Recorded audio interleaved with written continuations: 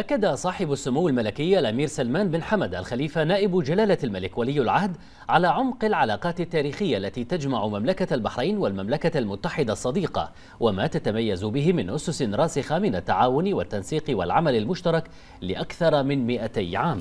ونوه سموه بما تحظى به العلاقات الثنائية بين البلدين الصديقين من اهتمام وحرص متبادل لمواصلة تعزيزها والدفع بها نحو آفاق أكثر اتساعا في إطار ما يجمعهما من علاقات راسخة وزيارات متبادلة واتفاقيات مشتركة تحقيقا للمصالح والتطلعات المنشودة.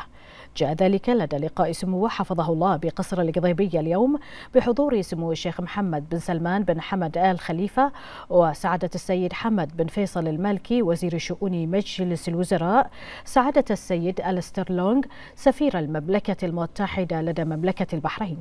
حيث أشاد سموه بالدور الهام للمملكة المتحدة إلى جانب الدول الحليفة الشقيقة والصديقة في ترسيخ ركائز الأمن والسلم الدوليين بما يسهم في رفض المساعي التنموية واستدامتها في المنطقة والعالم أجمع.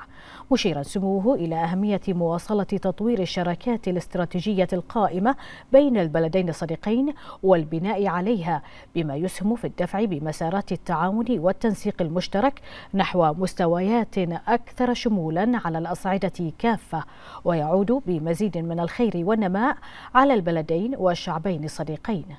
وجرى خلال اللقاء استعراض آخر المستجدات على الساحتين الإقليمية والدولية ومناقشة القضايا ذات الاهتمام المشترك واستعراض سبل تعزيز التعاون والتنسيق بين البلدين الصديقين بما يحقق التطلعات المشتركة.